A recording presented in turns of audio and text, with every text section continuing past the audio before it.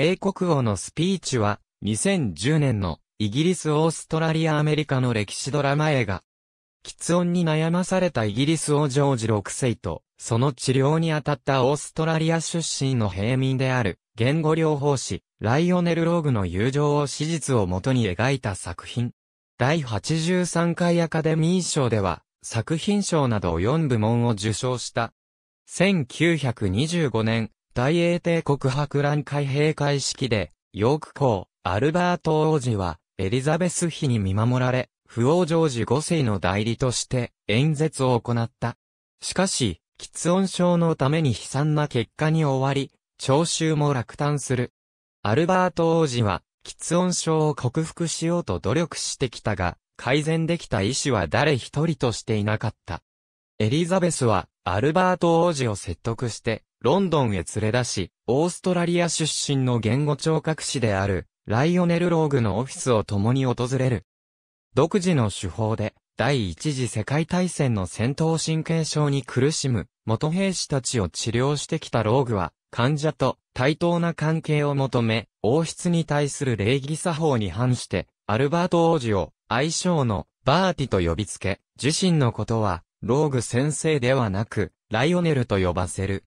ローグの無作法に反発し、帰りかけたアルバート王子に、ローグは、シェイクスピアのハムレットのセリフを朗読できるかどうか、賭けを持ちかける。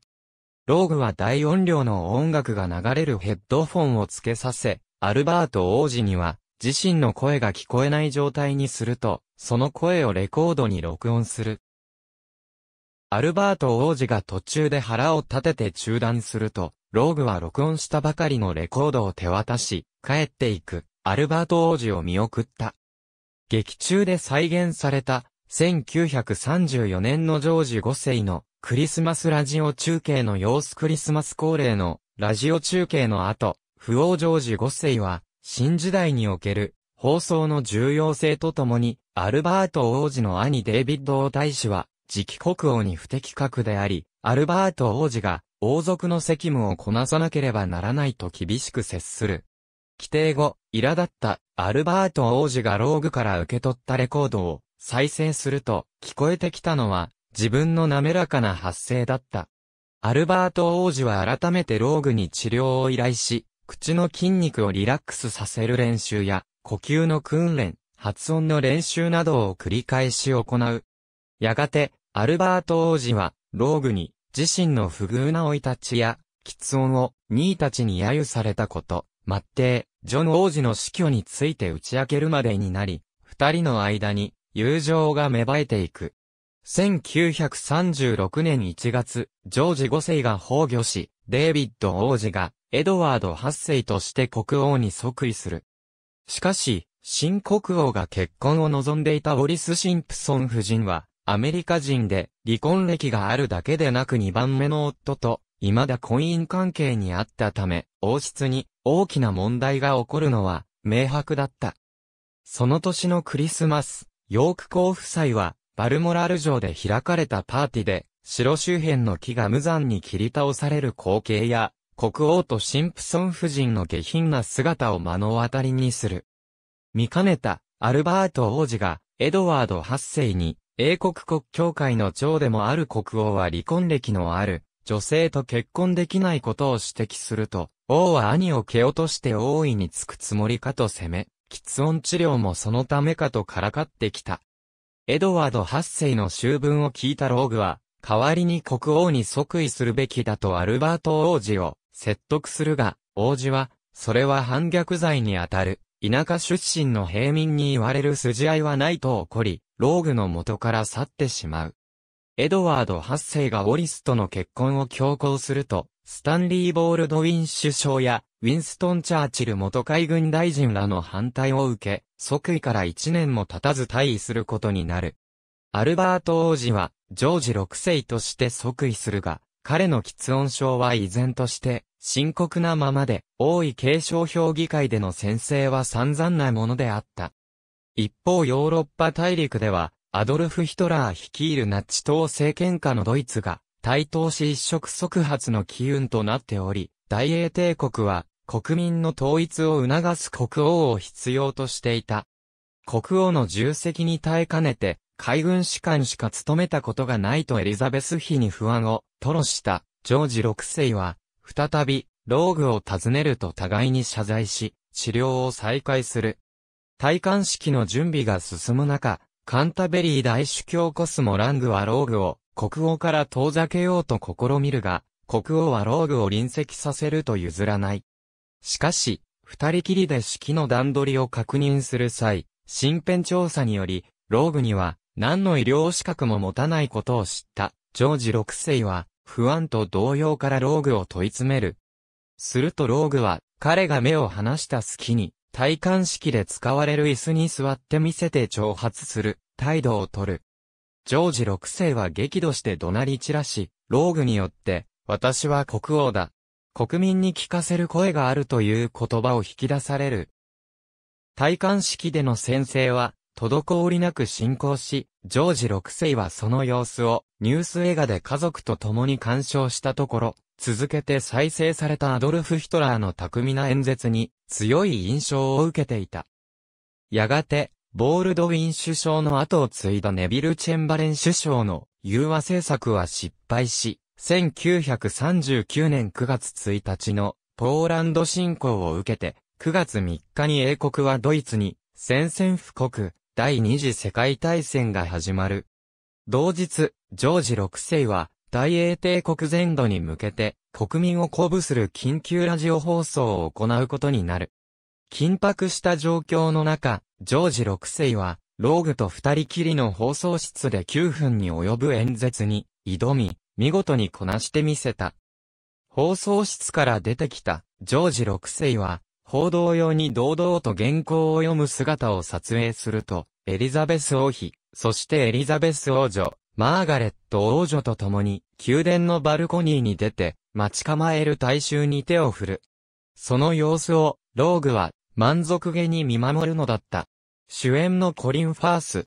3番目の候補として抜擢された。助演のジェフリー・ラッシュ。脚本を手渡されて出演することに決めた。括弧内は日本語を吹き替えランカシャーのクイーンストリート、ミルオリモの博物館でカメラを操作するトム・フーパー自らも喫音書であった、脚本家のデビッド・サイドラーは、30年以上、この企画を温めていた。これは、ライオネル・ローグに関する記録がほとんど手に入らず、ライオネルの息子バレンタインが保有していた治療記録は、ジョージ6世王妃エリザベスから存命中の公表を拒まれたからである。皇太后が2002年に101歳で死去すると、サイドラーは作業を再開する。ライオネル・ローグの孫にあたるマーク・ローグは、整理していた父の遺品の中に、祖父ライオネルとジョージ6世との往復書簡が大量にあることに気づいた。BBC によるマークへのインタビューによると、撮影の約9週間前に制作スタッフが彼に接近し、ヨーク校の治療に関する資料を手に入れたという。制作人はその資料を元にして、脚本の手直しにかかった。監督のトム・フーパーは、映画の重要なセリフのいくつかが、ローグのメモの直接的な引用であると述べている。この、ローグの記録は2010年秋に、ザ・キングス・スピーチ、How One Man Saved the British Monarchy のタイトルで出版された。2010年9月4日に、アメリカのテルライド映画祭、続いて10日に、カナダのトロント国際映画祭で、プレミア上映された。制作国のイギリスでは、モーメンタムピクチャーズが、オーストラリアではトランスミッションが、北アメリカ、ドイツ、フランス、ベネルクス、スカンディナビア、中国、香港、ラテンアメリカでは、ワインスタインカンパニーがそれぞれ配給した。日本ではギャガが配給し、英国史上、最も内気な王、というキャッチコピーが使われた。また予告編映像には、ウィリアム王子とキャサリン・ミドルトンのロイヤルウェディングが公開の2ヶ月後に行われるため、ウィリアム王子婚約発表に沸くイギリス、現エリザベス女王の父の真実の物語のナレーションとともに、ウィリアム王子からジョージ6世までの家系図が使用された。劇中で、ジョージ6世がストレスを軽減するために、過激なセリフを叫ぶのをローグが奨励する場面のために、イギリスでは BBFC によって R-15 に指定された。ロンドン映画祭にて監督のトム・フーパーは、この決定を批判し、なぜ下品な言葉遣いの映画が、15で、ソルトや、007カジノロワイヤルのような写実的、拷問シーンを含むものが、12A なのかと問いかけた。フーパーの批判の後で、BBFC は、12A までレーティングを引き下げ、大人と同伴ならば12歳未満の子供でも、鑑賞可能になった。アメリカでは、ウンパーが本作を R 指定にしたため、フーパーは先と同様の批判を行ったが、このレーティングは覆らなかった。この R 指定審査に関して、ロジャー・エバートは全く不可解であると批判し、これはティーンエイジャーのための優れた映画であると述べた。2011年1月、プロデューサーのハーベイ・ワインスタインは、レーティングを引き下げて幅広い層の観客動員を得るために、いくつかの過激なセリフを削除した再編集版の公開を考えていると発言した。だが、フーパーは問題となっている単語を B 音で追う可能性に言及しつつも映画を編集することを否定した。また、ヘレナ・ボナム・カーターやジェフリー・ラッシュもそのような編集に反対した。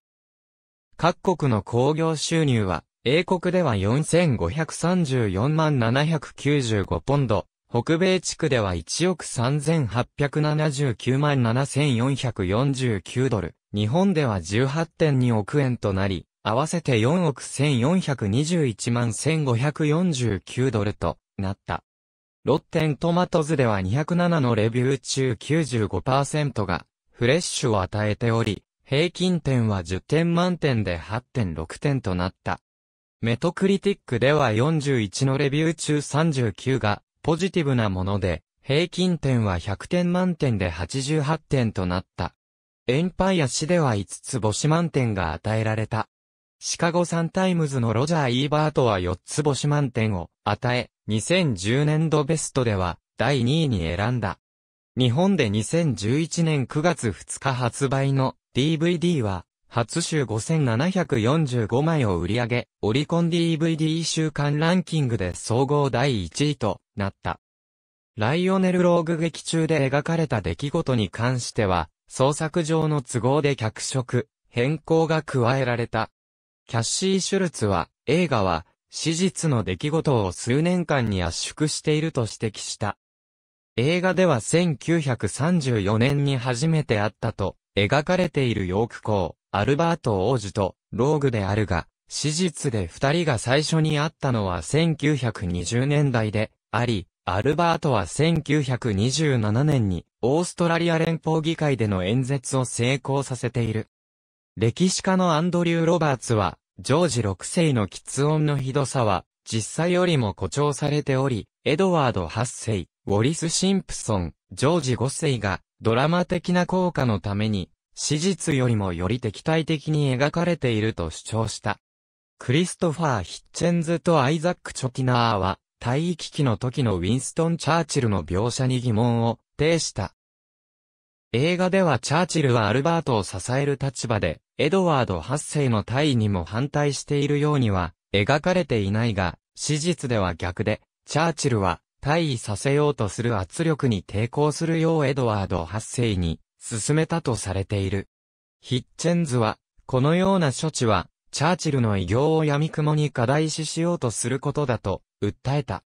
第83回アカデミー賞では、作品賞、監督賞、主演男優賞、脚本賞と、主要な賞を受賞したのを手始めに、世界各地の映画賞、合わせて63個を得た。それぞれ数々の賞を手にした監督のトム・フーパーと主演のコリン・ファースイギリスでは、2012年2月に舞台公演が行われた。日本は舞台化2カ国目であり、主演、東山紀之、演出、鈴木博美で、2012年8月から9月にかけて、東京の世田谷パブリックシアター及び、大阪の森の宮ピロテホールで上演された。